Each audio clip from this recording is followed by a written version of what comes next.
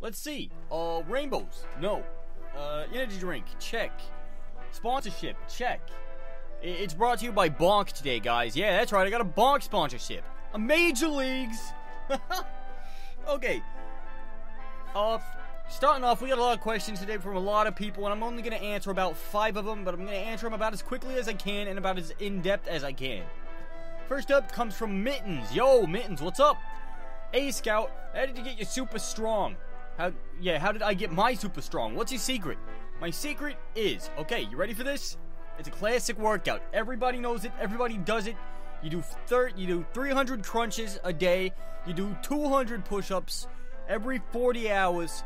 And then on top of that, you gotta run 16 and a half miles, which I can do in usually about 10.5 seconds. So yeah, that's that's a secret. You just got a really weird workout plan and you go with it. I know this guy from uh, I think it was Japan, was it? Yeah. He would do 100 sit-ups, 100 push-ups, run 10 miles, and then just sit there without the AC. Normally that doesn't work, but for him, it did wonders. I watched him punch a freaking giraffe in half. Or you could just be Saxton Hale and be born naturally stronger than anything else on Earth. Which means you could punch Yetis to death, or in really dire situations, use your own freaking teammates as a freaking baseball bat! Sorry. Yeah, uh. Sort of let myself go there. Alright, okay, okay. Back into it. Close the door for the recording studio, because that scared the shit out of somebody. Next one comes from Ryan Roddick. Scout, why do you love baseball? It has always been something I enjoyed growing up, and uh, it's always been something I would watch on the TV because you don't have to you don't have to crowd around the TV to watch baseball. You can hear it. You can put your ear to the wall because you're not allowed in the TV room after that incident with the cat in the refrigerator. But you can put your ear to the wall and you could hear it and you could tell what they're doing and you could visualize it because you know what's going on. Like for example, I know that in the fourth inning of the uh, what was it? The Cincinnati something or others? Yeah. In the fourth inning of a baseball game I watched as a child, one of the one of the lead like lead strikers on the team, right? He was one of the best they had. He had not gotten anything under a home run for like a year. He he fucked up. He fucked up, and not only did he fucked up, he not only did he fucked up, not only did he fuck up, he actually managed to take out a pedestrian outside of the stadium with a foul home run. That's right, he hit the ball so hard in the wrong direction it went out of the stadium. It was beautiful. Next question here comes from Grelith with A Scout. If you could turn into any animal, what would you pick and why? Well, I thought about this long and hard yesterday, and uh, the answer came to me in a dream that happened after I drank some contaminated bonk.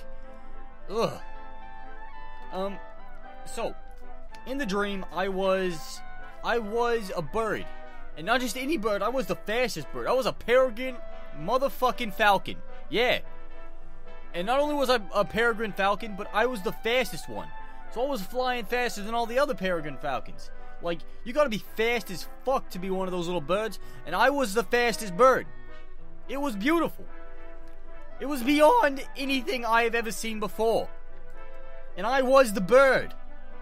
Cuckoo Cachoo. Wait, no, wait, that's a walrus. Uh, whoops. oh, gets me every time. Uh, so yeah, I was a peregrine falcon, and I think if I could turn into any animal, I'd probably be that falcon. Just so I could be faster than everything else. Not to mention, have you seen, like, the spy wouldn't suspect that. I could get the drop on him 10 times out of 10. He'd be just like, eating a baguette or whatever the hell French people do in their spare time, and I just swoop in as a fucking falcon and take his cigars or something. It'd be the ultimate payback for all those years of telling people that rainbows make me cry. They don't, by the way. They don't make me cry at all. They're just a little, uh... I'm just allergic to them, yeah. I'm just allergic to rainbows. Our final question here comes from a living taco with Do you go by in slow motion? Now, I'm thinking this is a reference to like some movie or something I haven't watched.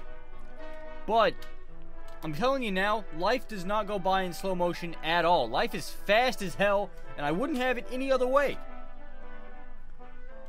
So, life doesn't go by in slow motion. I might go by in slow motion to other people because I'm busy living life to its fullest. You stop, you smell the flowers, you go around, you You, you hit the ground running. It makes sense not to live for fun. Because your brain gets smart, but your head gets dumb. So much to see, so much to do, so what's wrong with taking the back streets? So wait, so much to do, so much to see. I always get that wrong. Uh, but but that's because the, the guy who wrote the song, that's because Smash Mouth literally wrote the song backwards. Yeah, that's why. I think that's all the time we have for today. As always, guys, leave a like if you enjoyed the video. Share it, because that'll definitely help me out in the future. And be sure to leave your questions below. Like, I do this for you. I don't do it for me. I do it for me. But I, I do it for me, but I do it for you, too. You, you, you dig what I'm saying?